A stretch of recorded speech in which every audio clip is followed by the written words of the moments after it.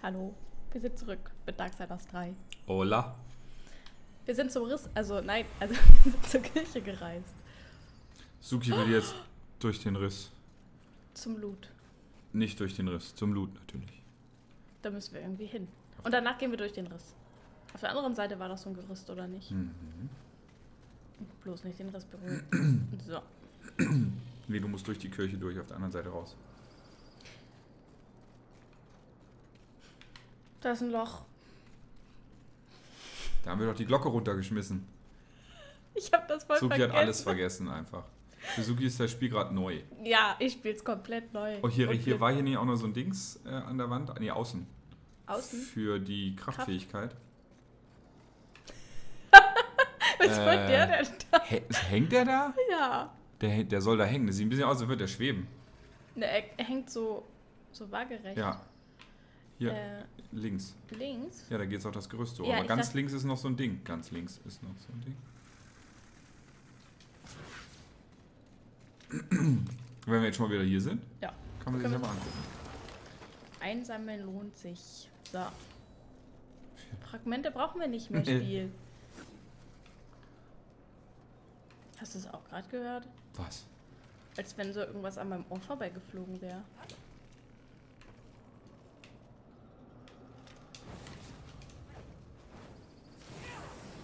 Da hält sie sich nicht fest. Dann gehen wir halt hier hoch. Darf ich jetzt?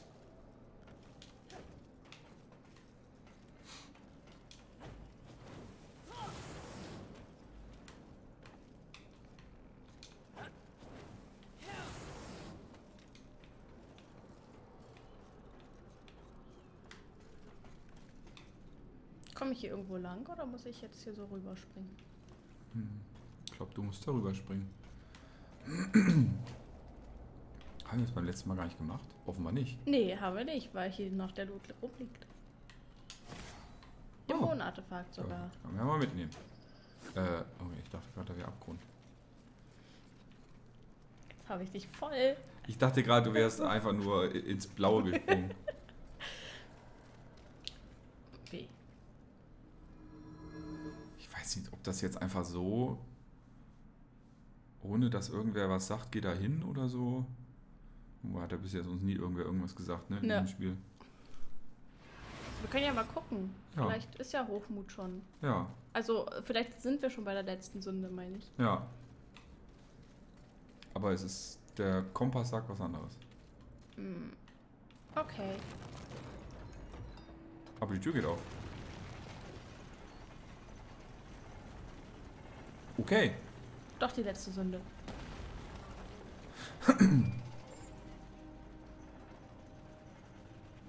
Selbstvertrauen steht dir. Wenn es verdient ist, schon. Du besitzt Stolz.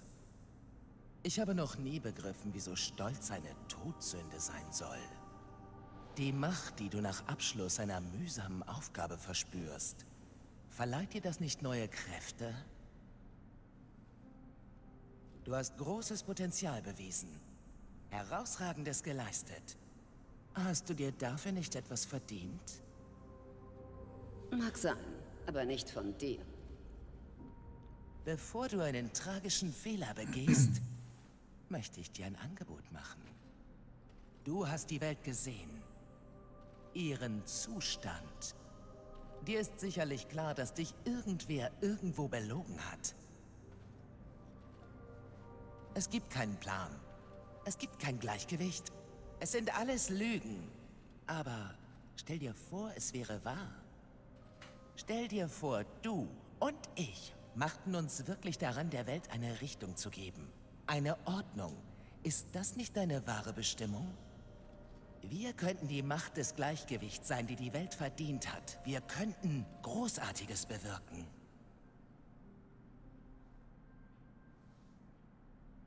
Es gab eine Zeit, da hätten mich diese Worte überzeugt. Doch damals wusste ich noch nicht, wie hässlich Hochmut sein kann.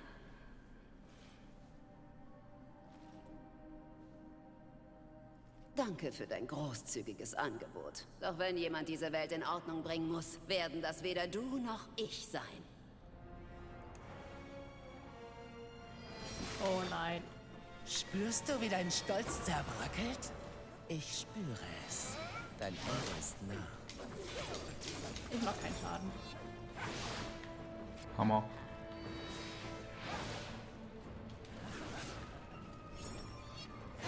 Vielleicht auch nur mit Ausweichen. Mit, nur mit Magieschaden vielleicht. Okay. Oh, zu früh ausgewichen.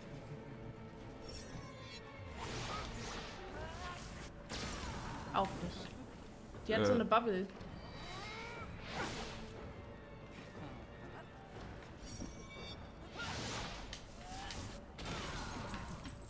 Tu das irgendwas? nicht! Nein, tu das nicht. Bin ich eigentlich schon richtig, ne? Nicht nur ab, wehr dich! Ah, du musst, wir müssen das Ding einfach nur zerwäschen. Wahrscheinlich mit dem Hammer kaputt. Oh, Hässliches kleines Ding. Wieso versuchst du es überhaupt? Neue Bubble. ja.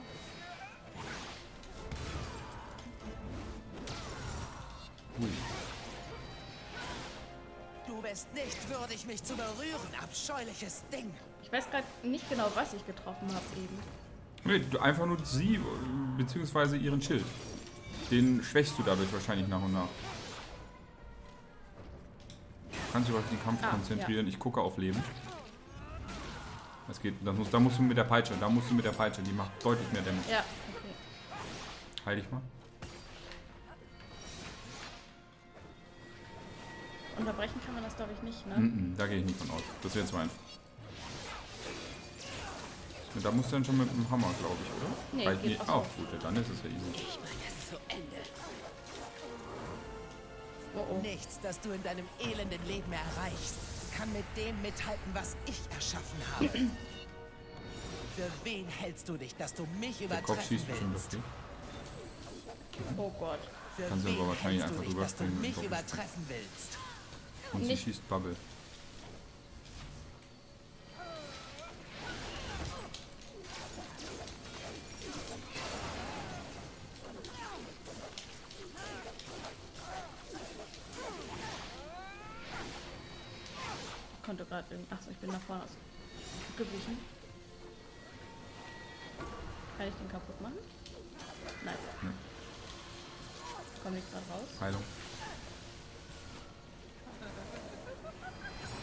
Ist sie? Oh Gott.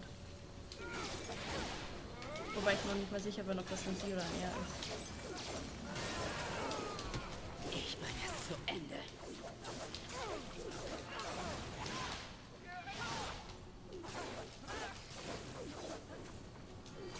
Spürst du, wie dein Stolz mal zerbröckelt? weg. Ich spüre es. Dein Heilig Ende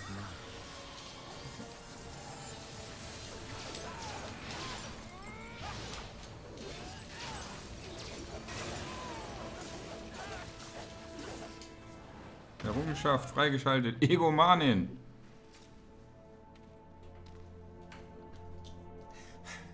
Hast du mit dem Fürsten des Abgrunds gesprochen? Er wusste es. Auch er war stolz. Erzähl mir vom Rat.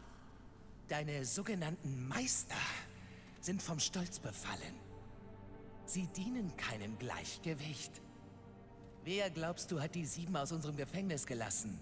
Welchem Zweck dienen wir, wenn es keine Menschen gibt, die wir verderben können?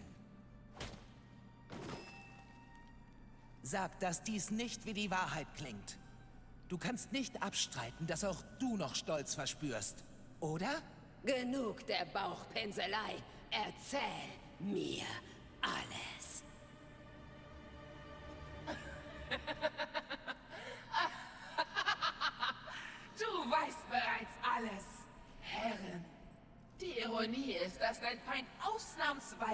Recht hat. Du solltest Stolz empfinden, aber nein. Du verspürst nur Angst. Angst der wahren Größe so nahe gekommen und dann gestürzt zu sein. Sieh, dein Rat betrügt dich.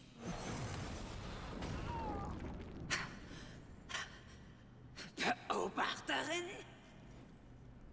Immer so hübsch. Ich war immer so eifersüchtig auf dich, Schwester. Nein! Nein!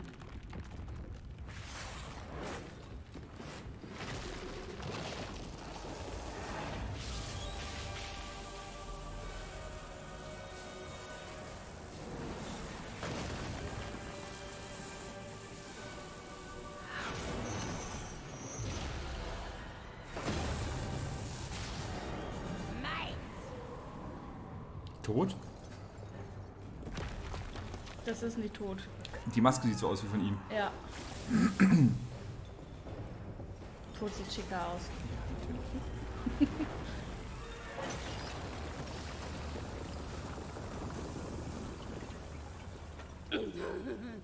Es hat alles gestimmt.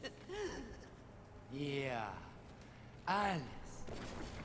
Ich beneide diese Ignoranz. Ein großes Glück, oder? Weißt du, worum ich dich noch beneide? Deine Macht. Und dank unserer gemeinsamen Wohltäter gehört diese Macht mir!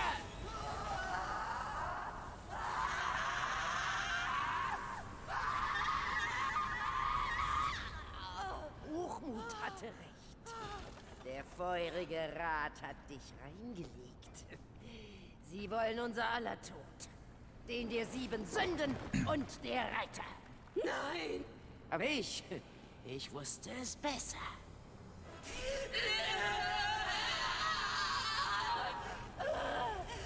Eifersucht wittert Eifersucht.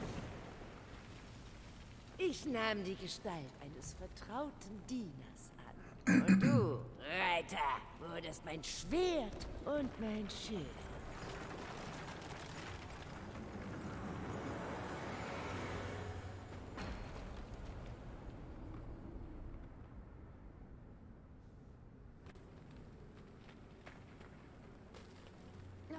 Jetzt, da die anderen Sünden beseitigt sind, werde ich den feurigen Rat ein für allemal ausschalten. Erst dann wird die Erde endlich mir gehören.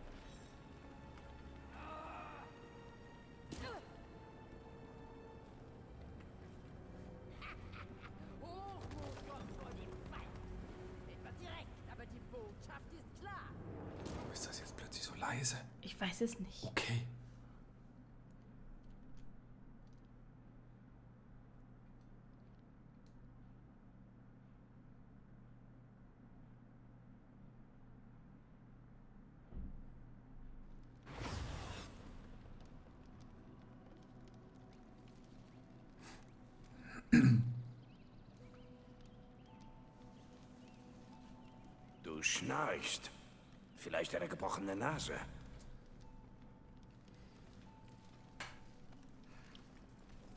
Auch Frauen schnarchen. Na, du warst offenbar fleißig. Keine Ahnung, womit. Außer dich ordentlich vermöbeln zu lassen. Wer bist du, Mensch, dass du so mit mir redest? Ach, ich bin auch bloß ein Flüchtling. Wie du. Aber ich bin nicht stark genug, das Gleichgewicht zu schützen. Das ist deine Aufgabe. Ich habe gelernt, dass ich schwach bin. Tja, vielleicht begreifst du jetzt endlich, wie die Menschen sich fühlen. In einen Krieg hineingezogen, den sie nie wollten. Sich selbst überlassen gegenüber Mächten, die sie unmöglich begreifen oder bekämpfen können. Die ganze Menschheit wurde betrogen. Und doch kämpft sie weiter. Was ist mit dir? Ich bin vom Weg abgekommen. Ich war neidisch. Ich war zornig. Ich war faul. Und noch Schlimmeres. Alles, was die sieben Sünden verkörpern. Und ich habe dafür teuer bezahlt. Anders ausgedrückt. Du hast gelebt. Ja, Sehr gut. Endlich bist du lebendig. Und wo Leben ist, ist immer auch Hoffnung. Hoffnung. Mein Kampf mit Neid war demütigend. Jetzt gerade ist sie zweifellos auf dem Weg, den feurigen Rat zu zerschmettern. Und ich sitze auf der Erde fest. Wenn du also von Hoffnung sprichst, Mensch, kann ich dir nicht beipflichten. Es gibt keine Hoffnung mehr. Nein, Haven ist auf Hoffnung erbaut. Komm, sprich mit Ultan. Du wirst schon sehen.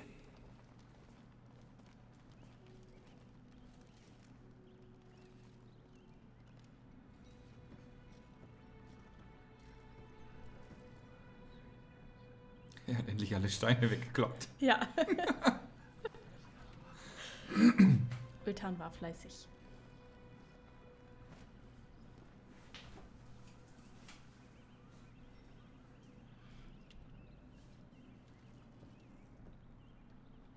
So, Speicherpunkt. Yay! Überraschend. Hätte ich so nicht mit gerechnet. Wir wollen zu ihm, ne? Komme ich hier irgendwo runter? Ja, wir wollen zu ihm. Hallo Ultan.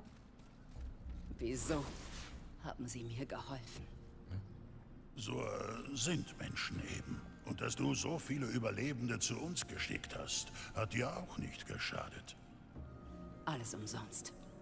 Wir haben dich nicht aus den Trümmern gezogen, damit du jetzt aufgibst. Neid besitzt die Macht der Sieben. Der Verrat steht dir ins Gesicht geschrieben. Dem Tod überlassen wie nutzloser Abfall. Doch es ist noch nicht vorbei. Ein Spiegelteich. Ja, mit ein paar Anpassungen. Aber er ist nur für dich. Er führt nur dich zum Wunsch deines Herzens. Ich wünsche mir nur zu beenden, was der Rat begonnen hat. Finde deine Entschlossenheit, Reiter. Nur sie bleibt dir noch. Und du brauchst sie, wenn du Neid aufhalten und deine ehemaligen Meister stürzen willst.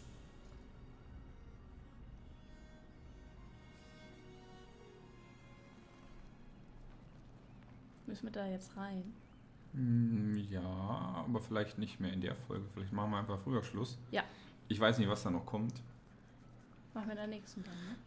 Ja, Seelen haben wir keine, sonst würde ich sagen, wir kaufen noch schnell eine Heilung. Aber Haben wir nicht. ja, haben wir nicht. Kriegen wir auch nicht mehr rein. Gibt's nicht Nö. mehr. Nö. Dann machen wir ein bisschen früher Schluss heute. Entschuldigung. Wir haben auch schon überzogen, es gleicht sich alles so aus. aus. Beim nächsten Mal geht's weiter. Danke fürs Zuschauen. Bis zur nächsten Folge. Ciao, ciao. Tschüss.